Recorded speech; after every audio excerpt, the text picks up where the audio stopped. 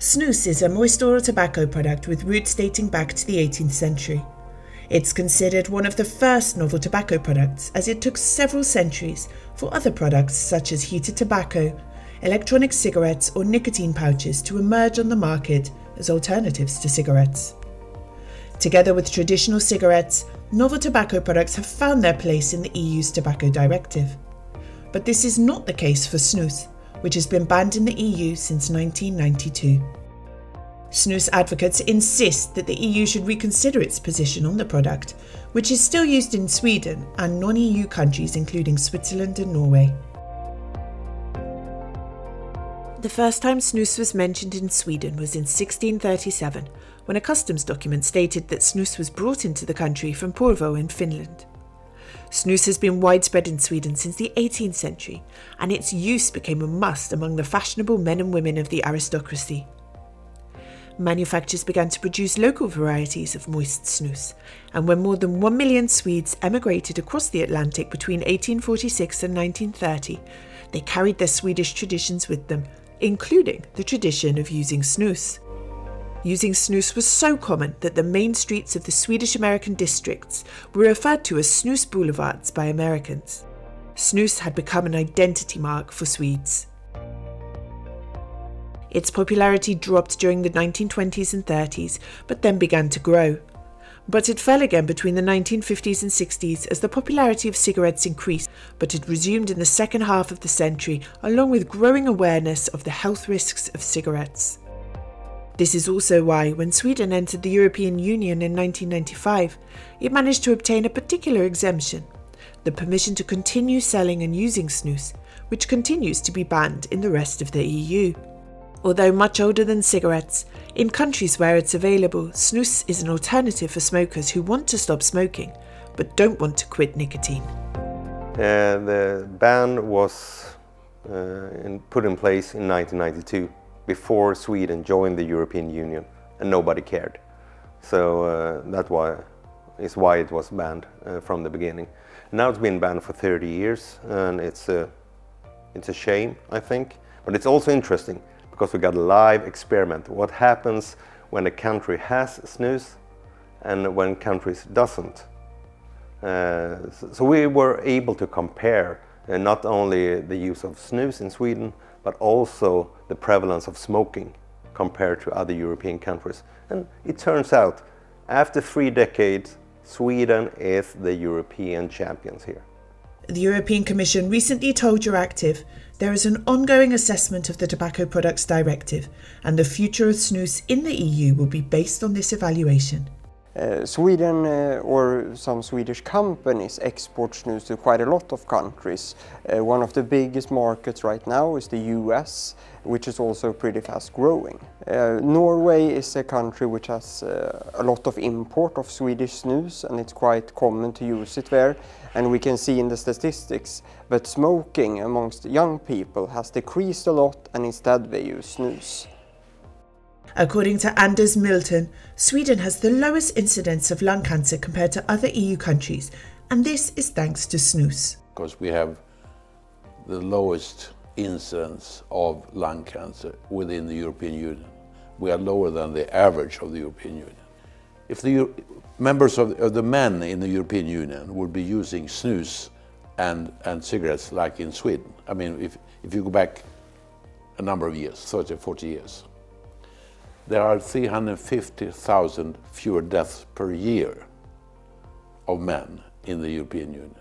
I mean, it's, it's a huge issue. It's a huge issue, and it is, is, there are so many facts that speak for snus because you, you don't get cancer.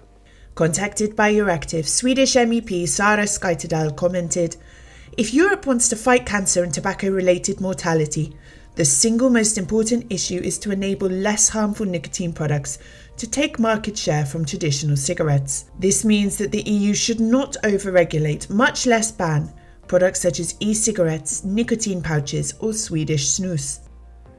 When it comes to smoking, well, I think now we're down to 5% smokers uh, compared to uh, other countries in European countries, which have a prevalence of about 20%, I think. Uh, so, so there's a huge difference between Sweden and the rest of the European Union. I would say there's one clear reason, uh, and that's snus, uh, nicotine pouches, uh, tobacco pouches. Uh, uh, and so if you look at the consumption of tobacco in Sweden, it's the same as in the rest of the European Union. But smoking is really, really uncommon. Yeah, yes, of, of course, snus, we have people that are addicted to snus because nicotine is obviously a dependent drug.